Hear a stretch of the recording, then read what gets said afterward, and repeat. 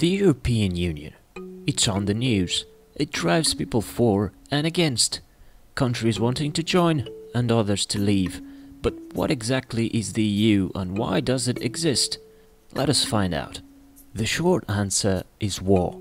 War brings death, wounded, destruction and economic recession. The end of major conflicts also allow the institution of new rules and treaties that regulate the relations between states, such as the Peace of Westphalia in 1648 after the Thirty Years' War, the Vienna Settlement in 1815 after Napoleon's rule over Europe, the Treaty of Versailles in 1919 after the First World War, and the current international liberal order post World War II with the institution of several international organizations like the United Nations, the International Monetary Fund, and the World Bank.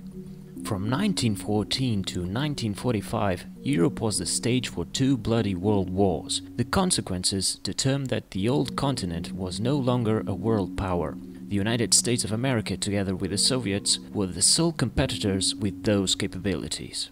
In this critical situation, the European leaders saw the unity of the continent as the only way to both ensure peace and that Europe could still be a valid stakeholder in the new international system. The main priority? Reconciliation between France and Germany. The mutual sharing of the main natural resources under a supranational organization called the European Coal and Steel Community in 1951 was the key to initiate a binding friendship. The six ECSC members were Germany, France, Belgium, the Netherlands, Luxembourg and Italy. According to the French politician Robert Schuman, the integration process should be gradual and continuous, meaning that the institution of the ECSC was only but the first step towards an European federation based on peace, solidarity and social economic prosperity. But having a supranational entity that would determine policies at a national level is something usually perceived as an interference in the internal affairs of a state. Fearing to lose parts of their sovereignty was precisely what caused the United Kingdom to stay out of the ECSC at the first place. On the other hand, it allowed the other six to remain more closely knit. With the UK out of the table, they tried to define a European political cooperation treaty that foreseen the necessity of adding a common European army to the already existing economic cooperation, but that failed to be ratified by France in 1954, sending the integration process back to the sectorial status. In 1955, the Six started a new round of negotiations focusing on the economic sector in order to define an European common market, a customs union with the objective to remove trade barriers between member states while also defining a common external tariff. Implicit to this is the fact that the member states lose their capacity to define trade deals individually. Those deals would have to be formed multilaterally.